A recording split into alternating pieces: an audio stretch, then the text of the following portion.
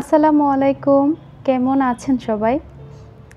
আশা করছে রমজানের আমেজ নিয়ে সবাই খুব সুন্দর সময় কাটাচ্ছেন এবং অপেক্ষা করছেন রমজানের জন্য। আমার এই ব্লগগুলো গত কয়েকদিন ধরে আমি রেকর্ড করেছিলাম, কিন্তু আপলোড করতে একটু বেশি লেট হয়ে গিয়েছে। ক্ষমা চেয়ে নিচ্ছি, তবে পর্যায়ক্রমে আমি আমার ব্লগগুলো দুই দিন পর পর দিয়ে দিয়ে শেষ করে নেব আর সেই সাথে রমজানের আপডেটও থাকবে। তো সব কিছু মিলিয়ে আমার আজকের ব্লগ আর গত ব্লগে আমি ডিআইওয়াই পার্টের ওয়ান দিয়েছিলাম। আজকে ডিআইওয়াই পার্ট টুটা দিয়ে কমপ্লিট করে ফেললাম আর কি। আশা করছি আপনাদের আজকের ব্লগটা অনেক ভালো লাগবে। আর ব্লগের শুরুতেই দেখেছেন আমরা শাক তুলছিলাম, আমার বোনা শাক। তো তিনি ছিলেন আমার বাবা। তো আমার বাবা এবং মা আসছেন আমাকে দেখার জন্য আর কি। আমার বাবা হচ্ছে গিয়ে দেশের বাইরে থাকেন।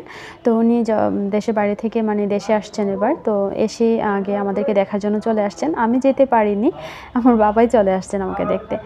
তো যাই হোক, এগুলো হচ্ছে বাবা মায়ের ভালোবাসা। বাবা মা যাদের জীবিত আছেন, তারা আসলেই অনেক বেশি ভাগ্যবান। আলহামদুলিল্লাহ, আমিও সেই ভাগ্যবানদের একজন। বাবা মারা যতই কষ্টে থাকুন বা যতই প্রবলেম থাকুক না কেন, ওনারা আমাদেরকে সেটা কখনোই বুঝতে দিবেন না। ওনাদের ভালোবাসার ছায়ায় আমরা সবসময় সুরক্ষিত থাকি। তো মন থেকে বাবা মায়ের জন্য, সবার বাবা মায়ের জন্য দোয়া এবং আমার বাবা মায়ের জন্য আপনারা দোয়া করবেন। রাব্বির হাম হুমা কামার আব্বা ইয়ানিস সাগিরা।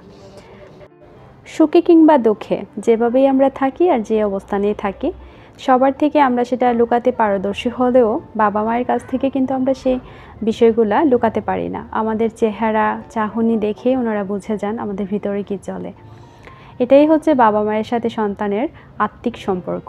যে সম্পর্কের কোনো উদাহরণ হয় না, যে সম্পর্কের কোনো তুলনা হয় না, যে সম্পর্ক নিয়ে কোনো কিছু বলারও থাকে না। এটা হচ্ছে আত্মার সম্পর্ক। তো এই আর কি, এখানে আমি হচ্ছে বেকিং করতে পছন্দ করি। তো আমি যে কোর্স করেছি সেটা আমার আব্বু তো জানেন সব কিছু তার জন্য উনি আমার জন্য এই স্কেল টেল কিনে নিয়ে এসেছেন।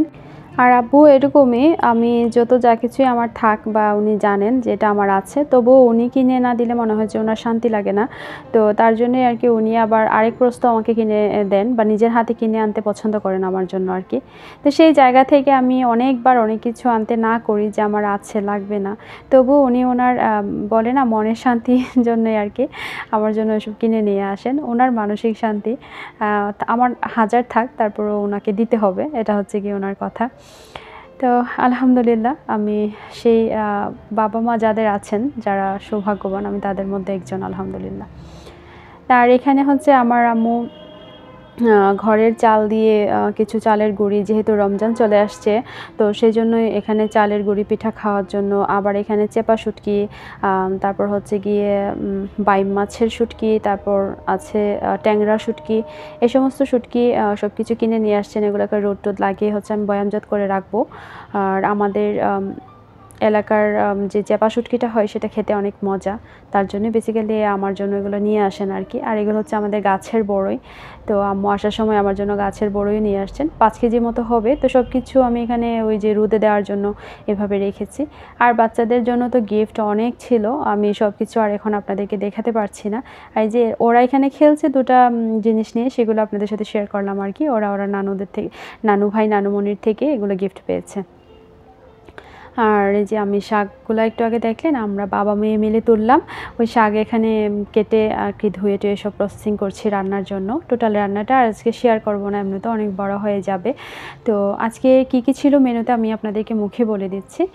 ডাল ছিল আর মুরগি ছিল, মুরগির মাংস। আর এখানে মাছের মাথা দিয়ে একটু টক রান্না করব। আর এর সাথে মাছ দিয়ে ওই শাকটা ভাজি করব আর কি। যেভাবে আমি তার আগেও শাক ভাজি আপনাদের সাথে শেয়ার করেছি, এভাবেই।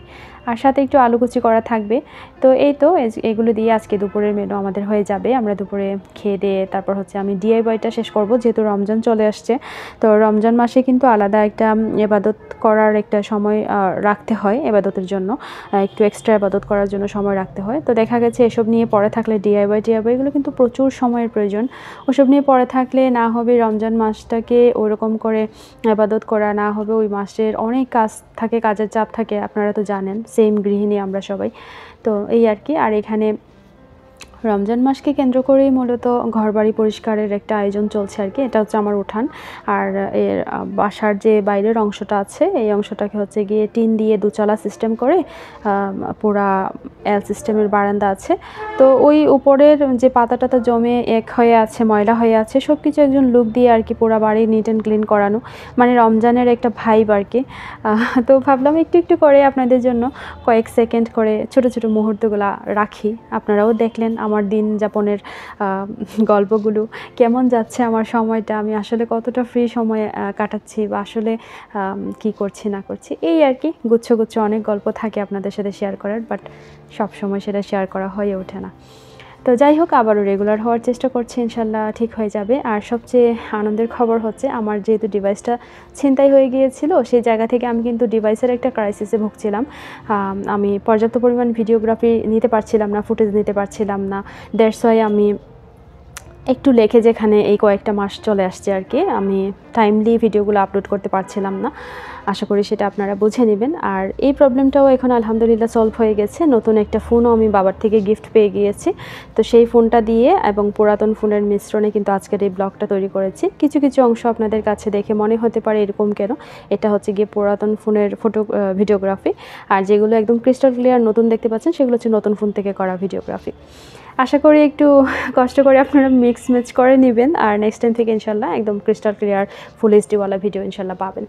তো যারা এতদিন ধরে অপেক্ষা করেছিলেন আমার প্রিয় আপুরা, তাদেরকে অসংখ্য অসংখ্য ধন্যবাদ এবং আকন ফ্যামিলি ব্লগ থেকে আপু সবসময় আমার খোঁজখবর নিয়েছেন। নিয়েছেন স্মাইল উইথ সুরভি চ্যানেলের সুরভি আপু নিয়েছেন ভিলেজ ফ্লেভারের আপু এবং এরকম আরও অনেক আপুরা আছেন যারা কম, যাদের কমেন্ট আমি পেয়েছি।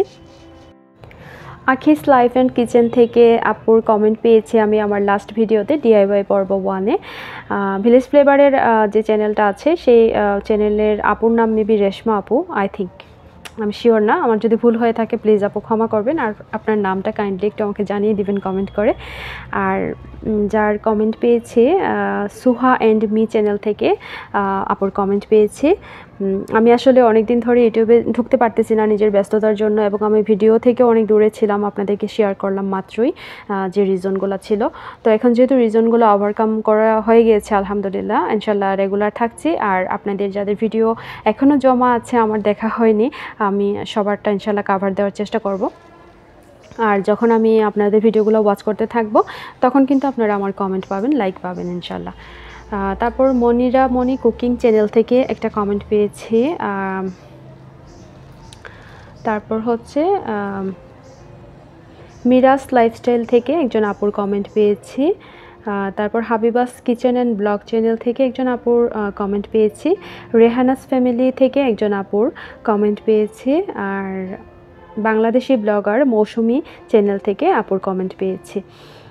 কমেন্ট পেয়েছি Akanta homes diary Akanta family and ব্লগের আপুর নতুন নিপু আপু, নিপু আপুর নতুন চ্যানেল এটা। আপুর জন্য শুভকামনা। তারপর J J N cooking and blogs থেকে একজন আপুর কমেন্ট পেয়েছি। উনি কমেন্ট করেছেন মাসাল্লাহ বাগানটা খুব সুন্দর, রান্না খুব ভালো লাগল আপু। আপুকে অসংখ্য ধন্যবাদ। আর শান্তাস গার্ডেন থেকে আরও একজন আপুর কমেন্ট পেয়েছি। আপু, অনেকদিন পর আপনার ভিডিও দেখছি, কেমন আছেন? আলহামদুলিল্লাহ, আপু ভালো আছি।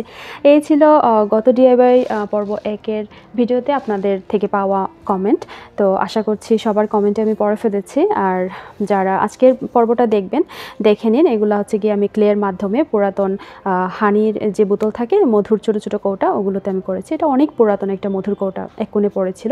এবার এটাকে ডিআইবাই করে সুন্দর একটা ফর্ম দিয়ে দিয়েছে। আর কীভাবে করেছি সেটা আপনাদের সাথে শেয়ার করেছি। সবাই অনেক বেশি ভালো থাকবেন, আর ভিডিও ভালো লাগলে প্লিজ একটা লাইক দিয়ে দিবেন।